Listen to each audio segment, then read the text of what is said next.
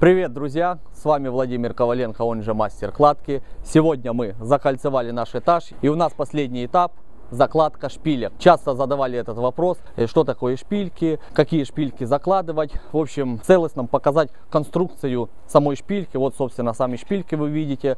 Вот, и как их закладывать, через какое расстояние и так далее и тому подобное. В общем, люди спрашивают, Вова, покажи и расскажи нюансы о закладках шпилек. Итак, ребята, в нашем случае железобетонного армопояса не будет, а будет кирпичный пояс с четырех рядов. Но закладка шпилек точно такая же, как и в ЖБ армопояс, так и в кирпичный пояс. Что нам понадобится? Нам понадобятся сами шпильки, шпильки диаметром 10-12 мм, вот такие вот пятки, толщина металла 2 мм, ориентировочно 10 на 10, то есть здесь не принципиально, чтобы шпилечка удобно стала вот, и устойчиво стояла. Итак, по длине шпилек. Здесь в зависимости от того, какая у вас будет высота самого армопояса или же кирпичного пояса, плюс сечение самого мауэрлата. То есть, допустим, в нашем случае будет 4 ряда, плюс соточка мауэрлат, все отлично остается, то есть буквально вот немножечко, здесь шайба и затяжная гайка. Шпильки у нас есть, этаж закончен, приступаем непосредственно к самому поясу. И для начала нам нужно что сделать? Желательно и в идеале будет это, если вы согласуете с кровельщиком. Если вы делаете крышу не сами, вам нужно согласовать с кровельщиком. То есть, как им удобно, допустим, раскинуть шпильки. То есть, сегодня приезжали кровельщики, мы согласовали, они говорят, Вова, отступи от фронтона. В данном случае у нас фронтон будет в пол кирпича, то есть отступи еще от фронтона, от пол кирпича еще полтора кирпича. Это будет отправная точка, первая шпилька. Так же самое и с другой стороны. И здесь уже мы разбиваем симметрично 5 шпилек. Одна получается вот здесь, вторая получается на том краю. Сейчас мы все это дело поставим. И три по центру разбиваем симметрично. Итак, мы проложили сеточку под нашим поясом. Будет еще несколько слоев сетки в самом поясе. То есть пояс будет хорошо армирован. В данном случае не ЖБ армопояс, а кирпичный пояс. Поэтому будем сеткой армировать его на каждом ряду. Я сейчас отмеряю так полтора кирпича. Вот у меня полтора кирпича. Продеваю вот так вот под сеточку. Еще, ребята, один момент уточняйте с кровельщиками, на каком расстоянии закладывать шпильки, где будет мауэрлат лежать. Но, ребята, здесь тоже много нюансов. Сколько градусов у вас будет крыша, то есть какой уклон будет у вас э, по крыше, э, где будут э, кровельщики закреплять сам мауэрлат. Мы согласовали, они говорят, Вова, вот от краю бери 120 и как раз за подлицо с задней частью облицовочного кирпича. То есть маурлат у них будет вот так вот лежать. Вот как раз будет маурлат будет э, в нашем случае здесь будет сечением 100 на 100 миллиметров, поэтому вот так вот он будет лежать. Я заложил первую шпильку, то есть вот получается у нас пол кирпича. Здесь будет идти, фронтон будет пол кирпича, потому как фронтон у нас здесь будет невысокий, всего лишь метр тридцать. Пол кирпича будет вполне устойчивый. И отступаем полтора кирпича. Первая отправная точка есть. И теперь переходим на вторую сторону. Опять же наш вот пол кирпича и от них, то есть вот здесь будет стропилка, отступаем полтора кирпича. О. Все, ровно полтора кирпича. То есть мауэрлат у нас будет идти вот, вот так вот. Как раз в притирку пол кирпича. Все, и теперь берем вот это расстояние, мы замеряем. Все, ребята, мы сейчас меряем от шпильки до шпильки наше расстояние. Вот так вот. Итак, у нас получается 5,40 с хвостиком нам надо разделить, то есть у нас три шпильки, значит нам надо разделить на 4 проема. То есть 5,40 делим на 4, получается метр тридцать пять между шпильками. И поехали, теперь раскладываем через метр тридцать пять. Так, метр тридцать пять. Все, эти шпильки сейчас пока убираем. Метр тридцать пять. Метр тридцать пять. Опять же под сеточку задеваем. Как раз как в аптеке у нас получается. Все проходим дальше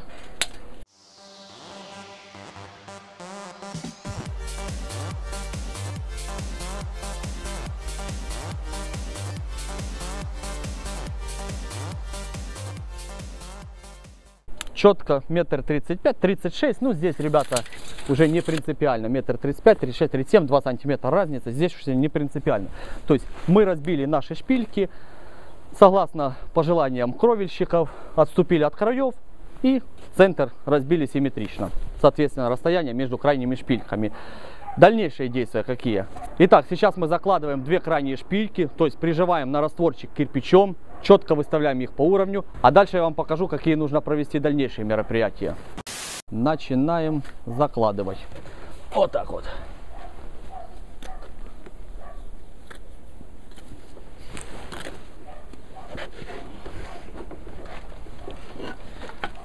Опа.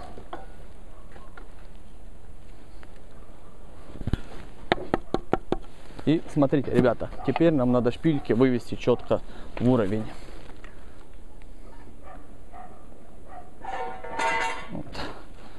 И с этой стороны.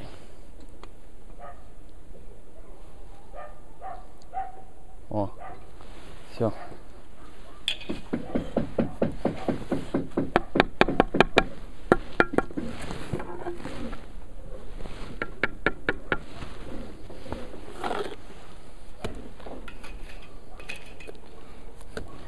Ну, здесь мы будем сейчас шахматкой закладывать. Вот так вот. Опа.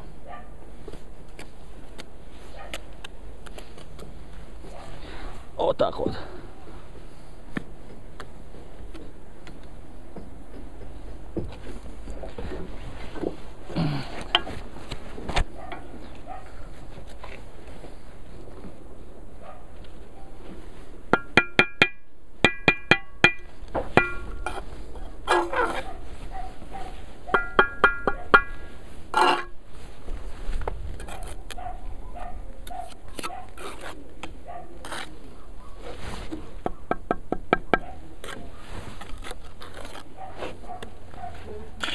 Так, теперь еще раз перепробиваем.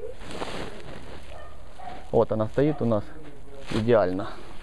И, соответственно, отсюда. О. Все, шпилька у нас стоит идеально по уровню. Итак, ребята, заложили мы первую шпильку. Соответственно, вторую шпильку с другой стороны. В общем, заложили мы крайние шпильки. Дальнейшие действия, которые теперь мы будем делать. Дальше мы берем шнурку. Я беру легкую тоненькую лесочку такую, чтобы она не натягивала сильно шпильки. И натягиваем как по низу, так и по верху. Ребята, это может кому-то напомнить, как выставляются трубы, допустим, под забор. Так же самое выставляем мы шпильки. Многие выставляют просто поставили, и дальше там уже крышники будут сами. Но хорошо ведь и приятно, когда человеку будет удобно работать, и, соответственно, люди будут понимать, что шпильки закладывали профессионалы, а не шаромыги какие-то. Поэтому, ну, мы всегда закладываем по шнурке. Беру вот так вот, делаю петлю.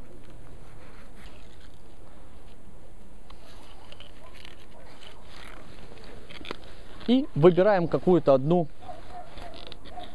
приоритетную сторону, допустим, или же наружную, или внутреннюю. Ну, берем, допустим, наружную сторону. Я взял по наружной стороне и иду к другой крайней нашей шпильке.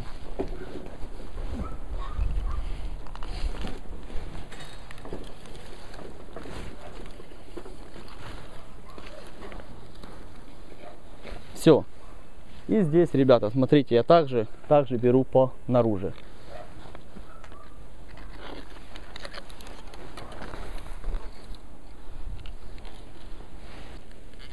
И вершок. Все, и едем назад.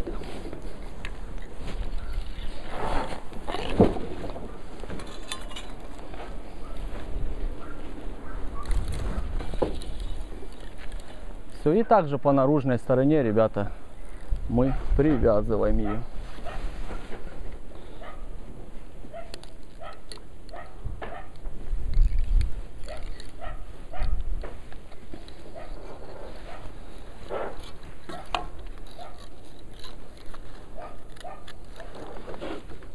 Все, здесь берем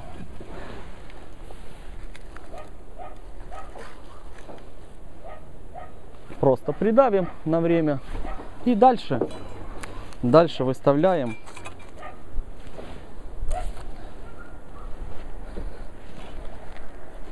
Низ и верх шпильки уже по шнурке непосредственно.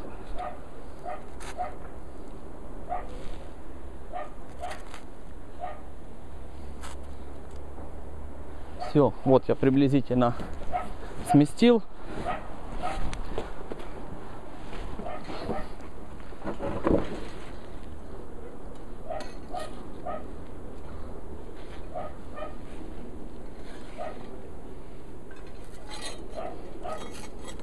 Может быть, допустим, немножко приварено, кривовато, поэтому смещаете, то есть как вам удобно. Вот смотрите, я прокручиваю методом прокрутки. Я как раз подношу низ и вверх к шнурке.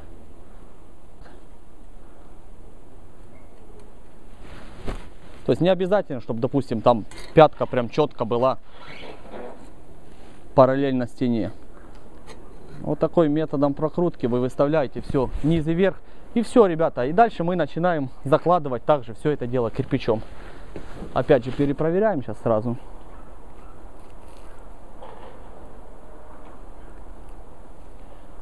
Все, ребята, выставили мы по шнурочке, а здесь, естественно, здесь, естественно, мы выставляем по уровню. Не прям таки, чтобы четко было идеально по уровню. Плюс-минус пару миллиметров допускается. Это зачем? Затем, чтобы когда ребята потом будут засверивать мауэрлад, у них все идеально он сел. И без никаких проблем. Вот так вот у нас получились все шпилечки по шнурочке. Все идеальненько выставили. И все по феншую. И начинаем теперь закладывать или же кирпичом, как в нашем случае, или же заливать ЖБ армопояс. Все, ребята, сделали мы все необходимые подготовительные мероприятия по шпилькам для закладки шпилек и, собственно, кладки нашего кирпичного пояса. А на сегодня у меня все. Если понравилось видео и было чем-то полезным, ставьте лайки, подписывайтесь на канал. Впереди будет еще много интересного. С вами был Владимир Коваленко, он же мастер кладки. И я желаю вам удачи. Пока!